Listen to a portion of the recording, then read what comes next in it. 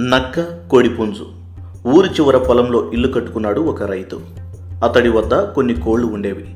వాటిని ఎలాగైనా తినేద్దామని ఓ నక్క రోజు ఇంటి దగ్గర మాటు వేసేది. కానీ చుట్టూ ఉన్న కంచె దాటి బయటకు వచ్చేవి కావు ఆ కోళ్ళు. ఓ రోజు యజమాని ఇంటి దగ్గర లేకపోవడం గమనించిన నక్క కంచె దగ్గరకు వెళ్ళింది. మిత్రులారా మిమ్మల్ని నాతో స్నేహం చేస్తారా? కొత్త కొత్త ఆటలు నేర్పిస్తా అంది. నక్క మాటలు వినిపించుకోలేదు ఆ కోళ్ళు. మరో రోజు మీకు ఓ విషయం తెలుసా? మీ యజమానితో నిన్ననే మాట్లాడా. ఆయన ఇంటి దగ్గర లేనప్పుడు మిమ్మల్ని భద్రంగా చూసుకోమని నాకు చెప్పాడు అంటూ కొత్త ఎత్తుగడ వేసింది నక్క.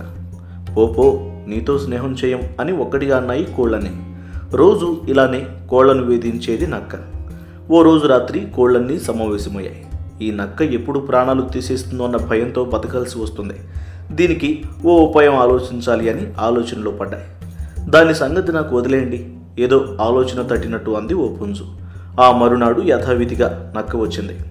మిత్రులారా ఇన్నాళ్ళ నుంచి మీతో మాట్లాడుతున్నాను. ఇంకా నాపై నమ్మకం కుదరలేదు దీనంగా అడిగింది నక్క.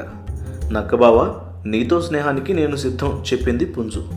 అమ్మయ్యా ఇన్నాళ్ళకు ఓ పుంజు నా బుట్టలో పడింది. లోపల సంతోషించింది నక్క.